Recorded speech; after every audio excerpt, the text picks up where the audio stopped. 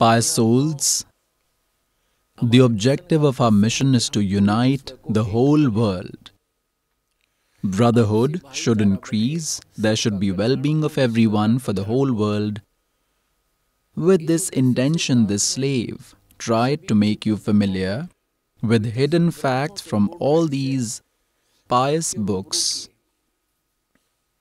Knowing the truth, one Muslim disciple, in fact, a lot of intelligent disciples try to listen to this knowledge and they understand that we do not criticize any religion or their spokesperson, but read facts from those religious books and conclude this much is slave's work.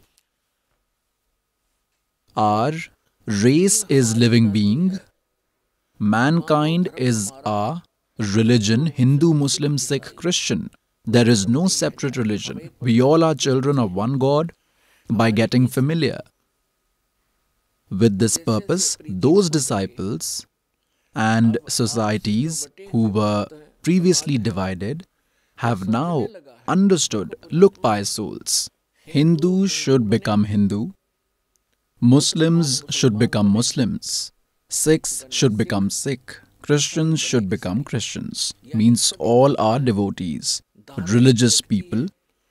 So, rules for religious people are the same they should not drink alcohol, should not eat flesh, should not do theft, should not misbehave with females, should not do robbery, should not fight, should not hurt anyone. So, those who have these qualities are religious people.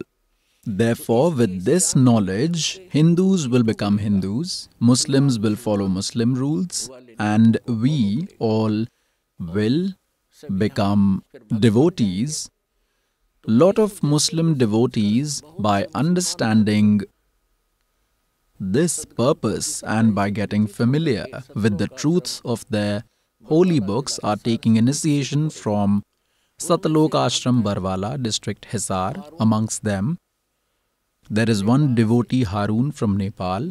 He himself will tell you what happened with him and how he understood this true knowledge.